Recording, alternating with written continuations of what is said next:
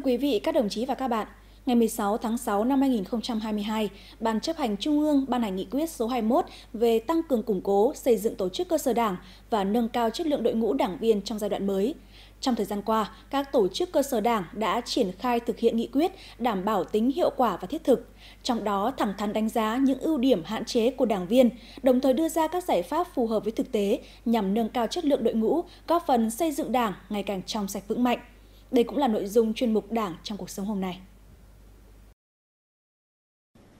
Ngay sau khi Đảng Cộng sản Việt Nam ra đời, với đường lối cách mạng đúng đắn, sáng tạo, hợp lòng dân, Đảng ta đã kết nạp được những quần chúng ưu tú, trung kiên, bản lĩnh, tuyệt đối trung thành với Đảng, sẵn sàng dấn thân vào con đường cách mạng đầy gian nan thử thách, thậm chí là sự hy sinh cả tính mạng cho mục tiêu độc lập dân tộc và chủ nghĩa xã hội.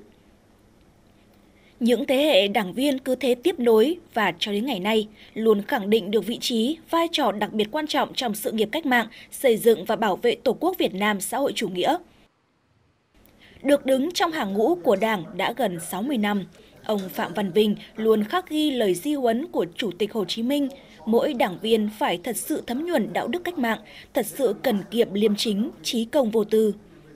Phải xứng đáng là người lãnh đạo, người đầy tớ trung thành của nhân dân – những phần thưởng, huy hiệu đảng mà ông được nhận là niềm tự hào của bản thân và gia đình, để rồi ông tiếp tục phát huy vai trò, trách nhiệm của người đảng viên cao tuổi tại khu dân cư. Tuổi thật là 88. Theo lý tưởng của đảng là phải trí công vô tư, à, phải gương mẫu, phải đoàn kết và luôn luôn phấn đấu trong công việc Ờ, năm nay thì là đảng ủy xã là có nghị quyết là cho cái xóm chung này là xây dựng cái nông thôn mới kiểu mẫu. Để phát động phong trào ấy, thì trong chi bộ phải phải gương mẫu trước. Đấy. một là những cái những cái đồng chí nào mà còn khỏe mạnh thì thì hưởng ứng cái phong trào. Đấy. rồi ờ, nếu mà bên chi bộ bàn được cái việc gì cần ấy thì mình làm. Hai nữa là cái việc mà ờ, đóng góp kinh phí chẳng hạn thì đảng viên cũng đi trước. Và công bố lên thì bắt đầu dân ở trên là cái việc mà mà mà tổ chức tập hợp dân là rất nhanh. Trong cái công việc mà xây dựng nông thôn mới kiểu mẫu, thì đảng viên là những đồng chí phải là những người tích cực đầu tiên. Thì chi bộ chúng tôi đã họp và triển khai đưa ra nghị quyết và giao nhiệm vụ cụ thể cho từng đồng chí cấp ủy cũng như đảng viên. Thì đối với cấp ủy thì phân công công việc cụ thể và đối với đảng viên thì sẽ giao nhiệm vụ cụ thể và phân theo khu vực lũy tre các đồng chí đều phải đảm nhiệm công việc nhiệm vụ của mình ở cái đơn vị mình phụ trách đứng đầu trong cái công việc thứ nhất là tuyên truyền vận động và bản thân mình phải là người gương mẫu đi đầu trong các hoạt động từ vai trò vị trí của đảng viên nên công tác phát triển đảng luôn được cấp ủy các cấp trong tỉnh quan tâm, tập trung chỉ đạo. Năm 2022, toàn tỉnh kết nạp được 1.864 đảng viên mới, đạt 116,5% kế hoạch. Quý 1 năm 2023 đã phát triển được 650 đảng viên mới, đạt gần 30% kế hoạch năm, nâng tổng số đảng viên trong toàn tỉnh lên 75.065 người với 680 tổ chức cơ sở đảng. Là người dân tộc Mường, anh Quách Văn Niên đã luôn nỗ lực phấn đấu không ngừng để được kết nạp vào đảng vừa được chuyển đảng chính thức với vai trò của người bí thư chi đoàn thôn, anh cùng với ban chấp hành xây dựng kế hoạch, phát động triển khai nhiều hoạt động, việc làm thiết thực, ý nghĩa, thu hút đông đảo đoàn viên thanh niên tham gia, góp phần thúc đẩy phong trào thi đua tại địa phương.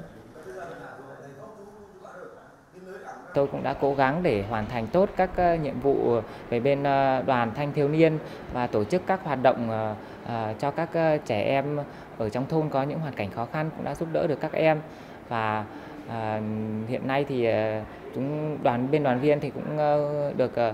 à, 27 ờ, đồng chí đoàn viên thanh niên cũng đã à, có những quỹ đoàn để đóng góp để giúp đỡ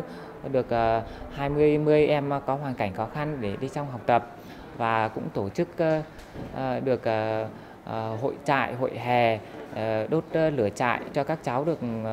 được vui. Bên cạnh đó, đội ngũ đảng viên cũng là người tuyên truyền, giáo dục, vận động, giúp đỡ các tầng lớp nhân dân chấp hành nghiêm quan điểm, đường lối, chính sách, pháp luật của Đảng, Nhà nước, đưa nghị quyết của Đảng đi vào thực tiễn cuộc sống, củng cố, giữ vững niềm tin của nhân dân vào sự lãnh đạo của Đảng. Để làm được điều này, tính tiền phong, gương mẫu trên các mặt hoạt động phải luôn được phát huy. Muốn vận động nhân dân thực hiện tốt thắng lợi cái nghị quyết của chi bộ đề ra thì trước hết là mỗi đảng viên là phải phát huy cái vai trò à, trách nhiệm của mình đối với xây dựng khu dân cư. Đảng viên phải đi trước, làng nước theo sau.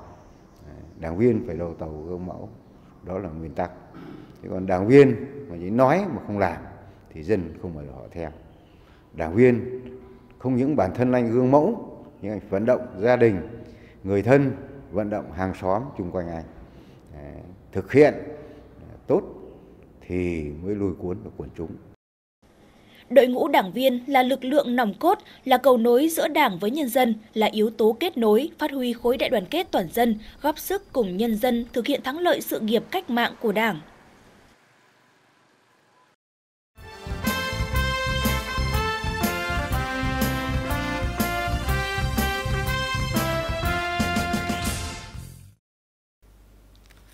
Vai trò trách nhiệm của đội ngũ đảng viên đã và đang được khẳng định trong thực tiễn. Hầu hết đều có tư tưởng lập trường vững vàng, kiên định với mục tiêu, lý tưởng của Đảng. Tuy nhiên vẫn còn một số đảng viên thiếu ý thức tu dưỡng, rèn luyện, mắc khuyết điểm, vi phạm đến mức phải thi hành kỷ luật. Chính vì thế, nâng cao chất lượng đảng viên vừa có ý nghĩa trước mắt lại mang tính lâu dài trong công tác xây dựng chỉnh đốn đảng. Tại hội nghị tổng kết, kiểm điểm cuối năm về công tác xây dựng Đảng, bên cạnh nhấn mạnh những kết quả nổi bật trong lãnh đạo chỉ đạo thực hiện nhiệm vụ trong năm, cấp ủy các cấp cũng đã thẳng thắn nêu lên những tồn tại, hạn chế và nguyên nhân như công tác quản lý đảng viên đi làm ăn xa, công tác giáo dục chính trị tư tưởng của tổ chức đảng vẫn còn xảy ra sai phạm trong thực hiện nhiệm vụ của người đảng viên. Nguyên nhân cả khách quan và chủ quan cũng được chỉ ra để các tổ chức đảng và đảng viên có biện pháp sửa chữa, khắc phục kịp thời. Chúng tôi sẽ đánh giá từng cái cấp độ một trong cái à, nhiệm vụ thực hiện nhiệm vụ chuyên môn hoặc là những thực hiện các cái nhiệm vụ các cái chính sách ở địa phương thì các cái à, ví dụ như đồng chí mà không hoàn thành các cái nhiệm vụ chính trị thì chúng tôi sẽ tiếp tục sẽ bồi dưỡng đấy, gặp gỡ bồi dưỡng và để nâng cao cái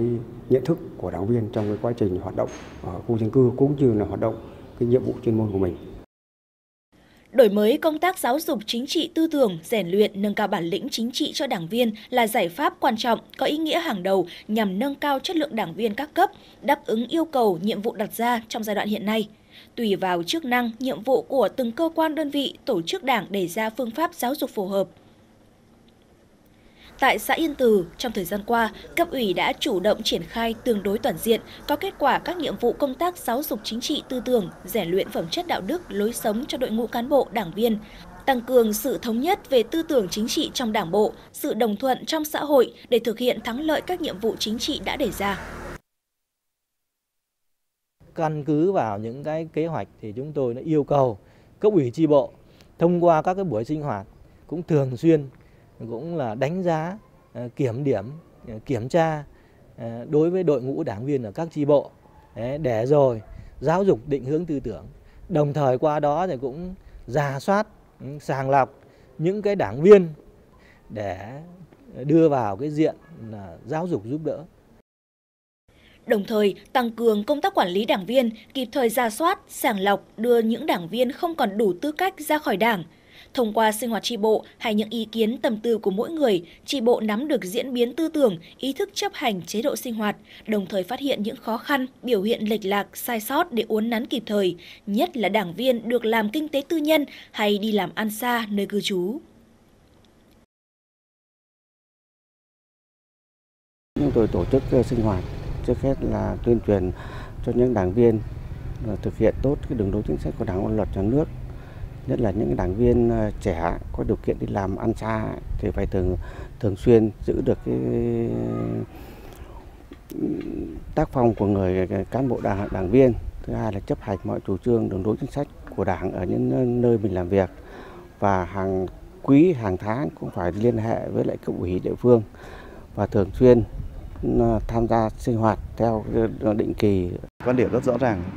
Chúng ta quan tâm quan tâm đến chất lượng cái đảng viên đã kết nạp rồi mà thấy là không còn tha thiết nữa, thì chúng tôi cũng cương quyết